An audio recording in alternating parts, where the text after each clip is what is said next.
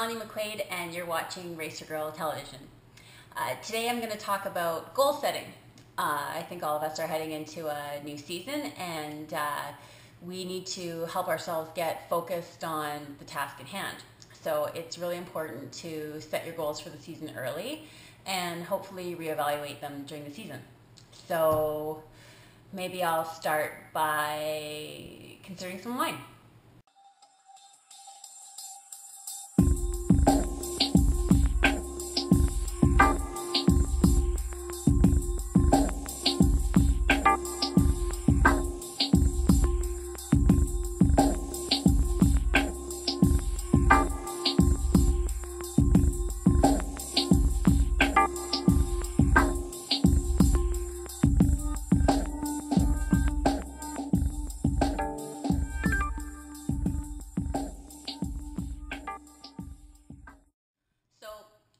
Obviously those goals are either somewhat unattainable or uh, perhaps I need to have a roadmap on how to get there.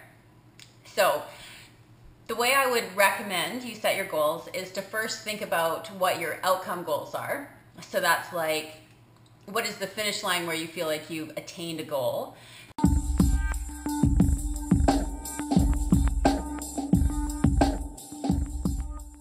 And then think about some process goals, which are breaking down that, that major goal into smaller steps that you can then attain during the season.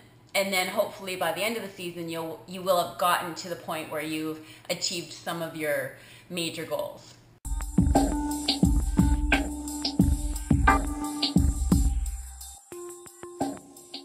For example, uh, I think some honest goals of mine for this year might be to win 70.3. Um, and maybe in order to be able to do that, I need to focus on some more strength in my running. So I might have interim goals uh, for run pace or time trials or just actual workouts that I'd like to complete to feel strong enough that I could finish off a 70.3 strongly.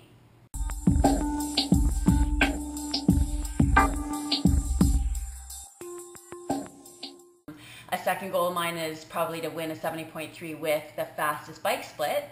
So uh, in order to do that, I have some interim goals in terms of where I want my bike fitness this year that I would set down, like um, a certain workout that I've done at a certain wattage. And uh, it might take a while to build up to that, but if I get there, then I know I'm on track for, for riding well this season.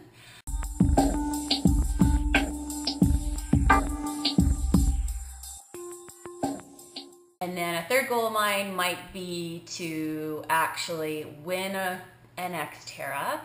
Um, preferably one that happens near the end of the season.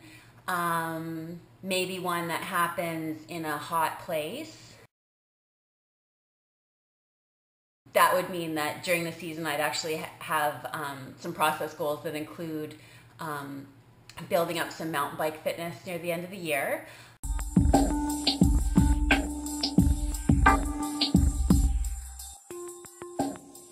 Um, a process goal, which could be an outcome goal this year, would be to actually win one of the Furious 3 um, race series. I definitely have uh, some goals in uh, the mountain bike realm that I think are going to help me to uh, get the kind of Xterra results that I'm hoping to get this year. So, there you go.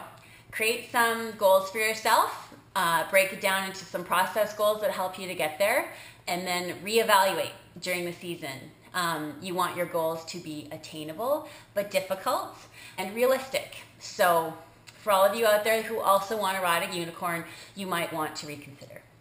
Thanks for watching Racergirl Television. Subscribe to my channel. See you next time.